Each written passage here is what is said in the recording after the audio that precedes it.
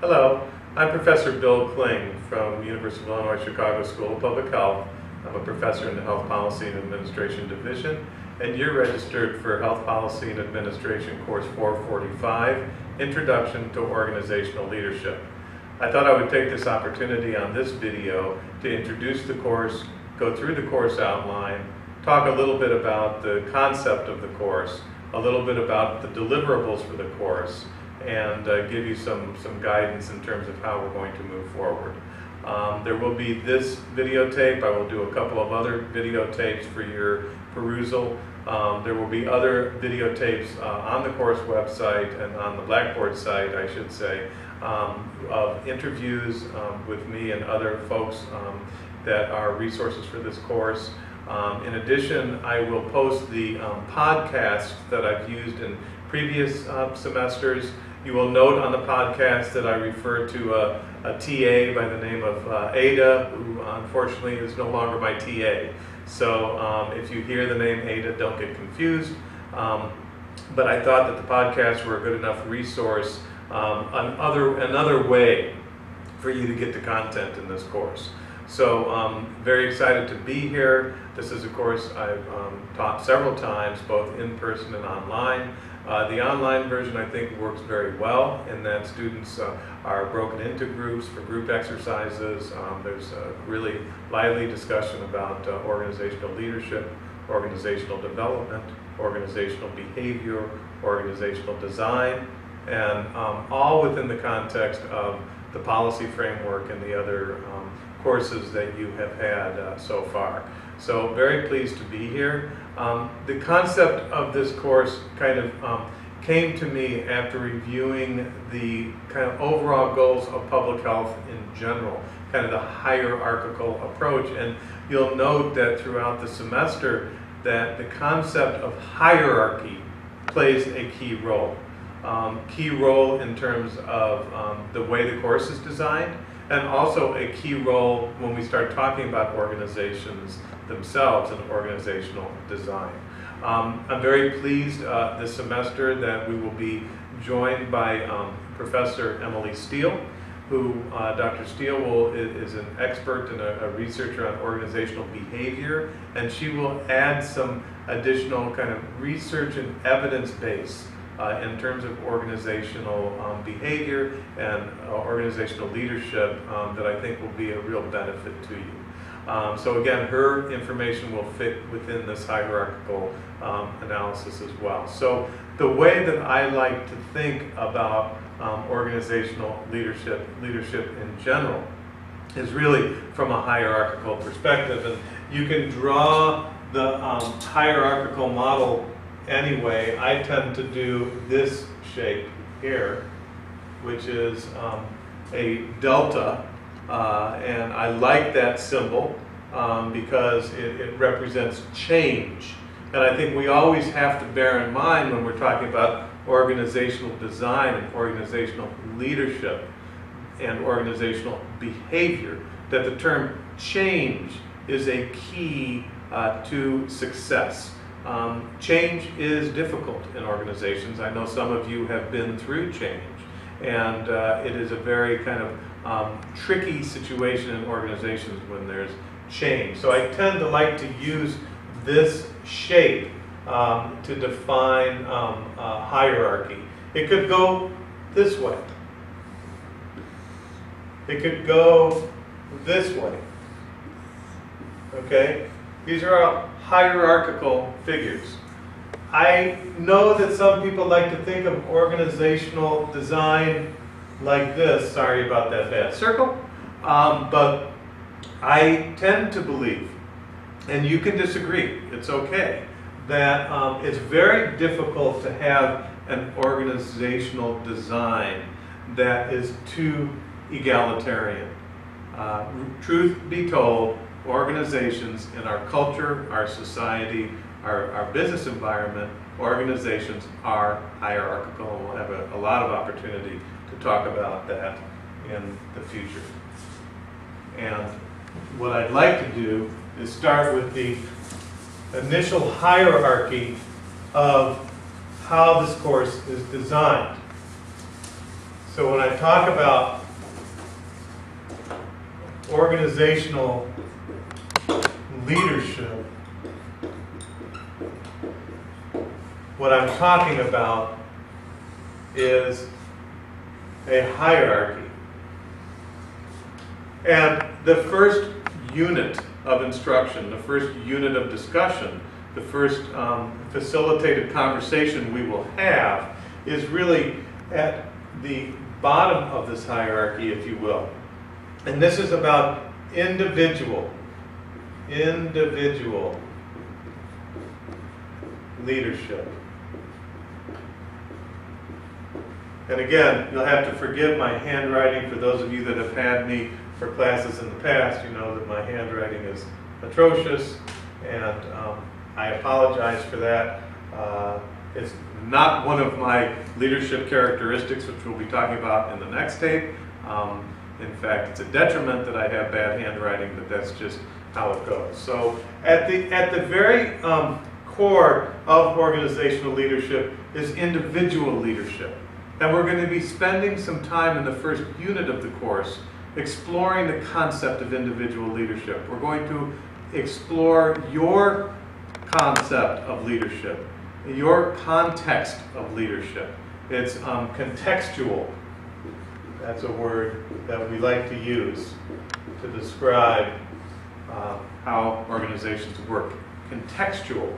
So, in terms of your own leadership, uh, we're going to explore that through looking at your resumes and having your peers look at your resume and really develop your resume so that at least out of this course you will have one deliverable which will be a revised resume. So I tend to look at instruction as a values based and values driven and I want you to get a value and many values out of this course. So in addition to the competencies and uh, learning objectives that are that are typical for courses, I also like to have uh, deliverables that are tangible, that are real. And in this case, in terms of individual leadership, the context will be your own leadership. And it will be in the form, first of all, in terms of your resume, which defines you. And as we'll see as we go through the resume building process, uh, that resumes are um, uh, two-dimensional pieces of paper in black and white that you're trying to tell a three-dimensional story about yourself, a living, breathing document. It's a very difficult thing to do well, and it's a very uh, uh, subjective document, so that the advice that I give you on how your resume should look may differ from your peers, may differ from student affairs and student development and career services. Um, you know, you're going to get different opinions and you have to kind of really work that through yourself. So in terms of our organizational leadership hierarchy, we start at individual leadership and the first context is yourself and uh, we're going to define that through your resume. The second context is what we call um, reflective, reflective leadership. And that will be the second part of the unit on individual leadership is reflective leadership. And um, you, we will have a guest speaker um, by the name of Elizabeth Glasgow. Uh, she is an expert in this concept. She's very well uh, read and, and uh, has lots of experience in what uh, she'll talk about in terms of the parallel process. That I think is an important concept within her model of reflective leadership that she will be sharing with you um, that she's developed through some, some researchers and some experts in the area. So um, when we're thinking about individual leadership, we're first kind of reflecting on our own leadership. We're reflecting on how leaders look in our society, and we're going to talk about that in the next video. Um, what I call a, uh, a leadership assessment. And um, we'll be talking about that in the next tape, so stay tuned for that. Um, so once we have a thorough and full discussion about individual leadership, we move up the organizational hierarchy to relationships. relationships. And in this case, what we're talking about is really managing relationships. What does it look like? How does it feel to really engage with others? What do we know about that relationship management? Um, how, as leaders, do we use those relationships, utilize those relationships uh, to, to further the goals of our organization, to further the goals of our uh, mission and vision. So relationships are, are critical. And um, we'll be spending some time talking about relationships and how they fit within the organizational context. And uh, we'll have a, a, full discussion on that. And we'll also have some uh, uh, resources uh, for you to think about uh, how um, relationships, what they mean to you, and how you define relationships, and how we you know, approach relationships systemically through a framework as opposed to just ad hoc. So that's the second unit. So you've got kind of one, you know, one plus one. And then what we move into is um, the heart and soul of public health, the heart and soul of uh, this course, um, the heart and soul of what um, we do uh, in this um, profession, in this, in, in this, um, uh, in this venue. And we move into communities. Communities. So what do organizations look like in the community? And um, this unit of instruction will be a couple of um, different um, uh, exercises, um, one of which we will have a, a hypothetical community-based organization or CBO that you will be working with uh, as a, um, a role playing as, as staff members or board members of this community-based organization um, and uh, called uh, Community Connections, ComCon. And so we'll have an exercise, we'll have some video resources of individuals that work in the community. Um, it's so critical to the work that we do in public health and to the work that you're doing uh, in terms of your practicum sites and in terms of your career development to understand how community works, to understand uh, cultural competency within the communities that we serve. We're, we're fortunate to be uh, in Chicago. University of Illinois, you know, in Chicago, at Chicago is a, a very, um, you know, it, it's a blessing. We have a, a real uh, learning uh, laboratory right outside the window of this classroom.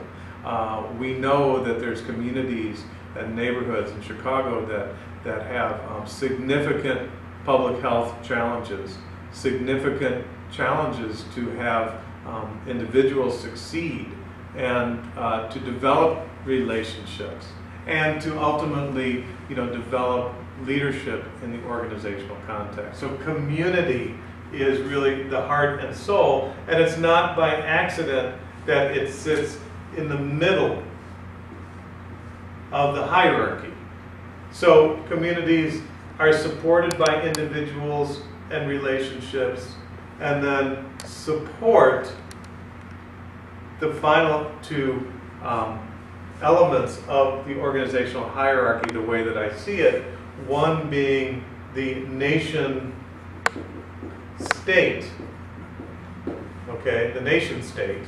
Um, and again, we'll be spending some time on that and what that means.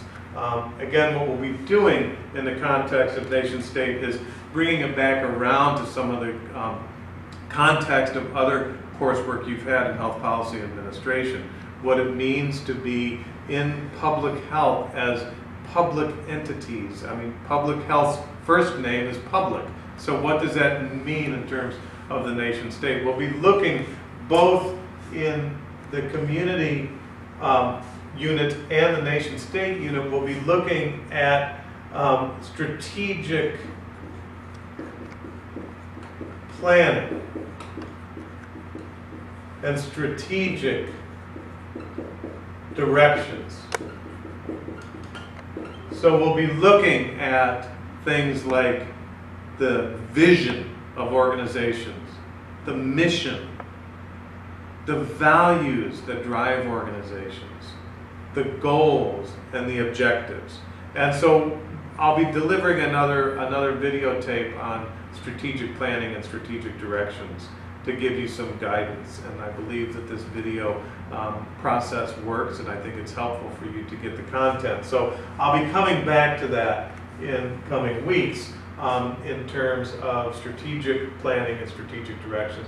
And then finally, so critical to you as younger people than me, and so critical to um, to the way that we do business now, to the way that we manage our communities, to the way that we get things accomplished, is the world view. The world view.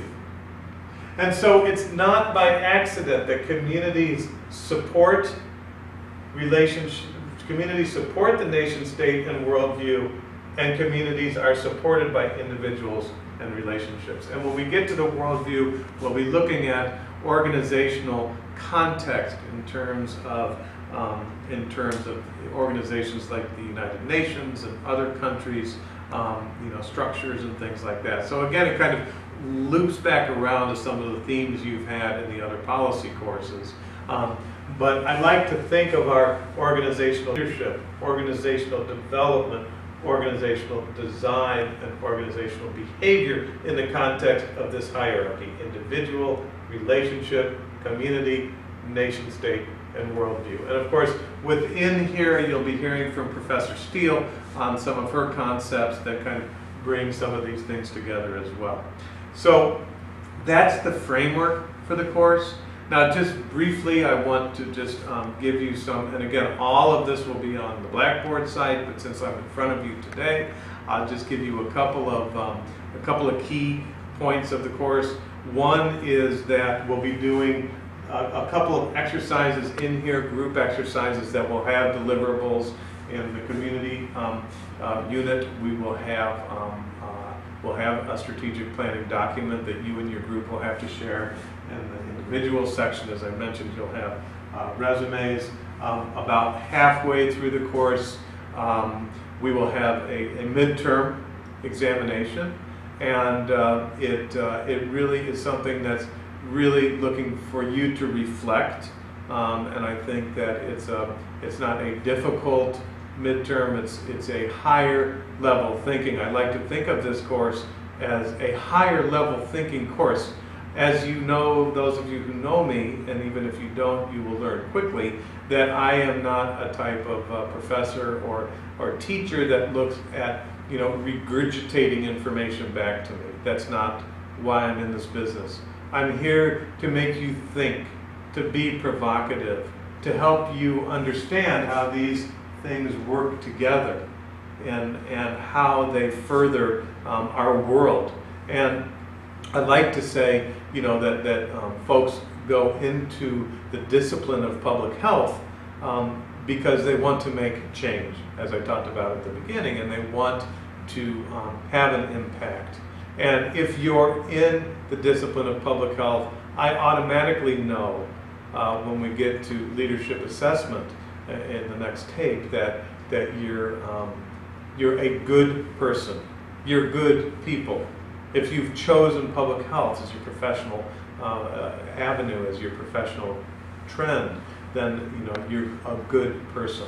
Um, so there will be a midterm to kind of test that higher level thinking, to show me how good you are as a person, and then uh, there will be a final project due at the end, which will be a a PowerPoint or Prezi or any way that you uh, like to present. Um, usually they're PowerPoints. I've had a couple of Prezis, um, but uh, these are uh, PowerPoints on, um, on either an individual leadership, I'm, I'm sorry, an individual leader, an organizational model, or a leadership theory. So the PowerPoint is up to you in terms of what you choose to do it on, either individual leader, an, an example of an organization that um, demonstrates organizational design or a leadership theory. Um, most students choose individual leadership. Uh, individual leaders to do their project on, and that's fine. The concept, and again, we'll have much, much more time to discuss this, but the concept is really to look at, as we, you know, fill out these units, use that as your framework for your PowerPoint. I lay it all out for you uh, in terms of how I'm looking for you to analyze um, your given topic or your given person. So with that, that's kind of an overview of the course. Um, and uh, I will be, again, doing additional videotapes. Um, we will have also some synchronous sessions, probably one or two, uh, maybe three synchronous sessions where we'll get on an Adobe Connect uh, site um, and uh, we'll be able to, you know, confer uh, synchronously. I'll give you an, that opportunity once or twice or three times a semester just to kind of get to know each other. If you have any questions, just uh, it's nice to get together synchronously um, in this asynchronous context called um, distance education, online learning. So I'd like to provide that opportunity uh, a couple of times for us to discuss. And in the meantime, uh, there will be plenty of information on the Blackboard site. Um, there will be resources, there will be links to um, videos and podcasts. In addition, there will be um, books that I will ask you to, to get, um, which will be listed on the Blackboard site as well. So with that, um, that's the end of the introduction, uh, and I look forward to working with you. You can always email me or call me. The, that information will be on the Blackboard site as well. So thank you. I look forward to talking to you soon. Thank you.